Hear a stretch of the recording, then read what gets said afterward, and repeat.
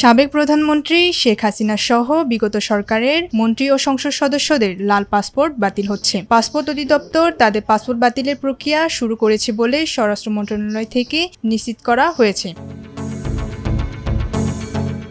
এ বিষয়ে স্বরাষ্ট্র মন্ত্রণালয়ের সুরক্ষা সেবা বিভাগের অতিরিক্ত সচিব আলী রেজা সিদ্দিকি বুধবার একটি গণমাধ্যমকে বলেন, যেহেতু সংসদ নেই, মন্ত্রী ও সংসদ সদস্য কেউ এখন পদে নেই, তাই তাদের পাসপোর্ট বাতিল হচ্ছে। এ বিষয়ে প্রক্রিয়া শুরু করতে পাসপোর্ট অধিদপ্তরকে নির্দেশ দেওয়া হয়েছে। শীঘ্রই এ বিষয়ে প্রজ্ঞাপন জারি করা হবে।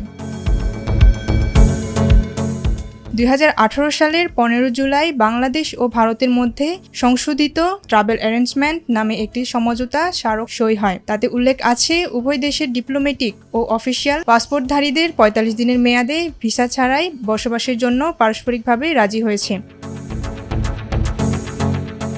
এই সমঝোতা স্মারকের কথা উল্লেখ করে বিবিসি বাংলার প্রতিবেদনে বলা হয়, ওই পাসপোর্টের সুবাদে সাবেক প্রধানমন্ত্রী শেখ হাসিনা ভিসা ছাড়া ভারতে অবস্থান করছেন। তিনি দেশ ছেড়েছেন সতেরো দিন আগে। আরও আঠাশ দিন তিনি ভিসা ছাড়া সেখানে অবস্থান করতে পারবেন। তবে এ সময়ের আগে যদি তার লাল পাসপোর্ট বাতিল হয়ে যায়, তাহলে তাকে বিকল্প চিন্তা করতে হবে। একই সঙ্গে ভারতকেও এ নিয়ে চিন্তা করতে হবে।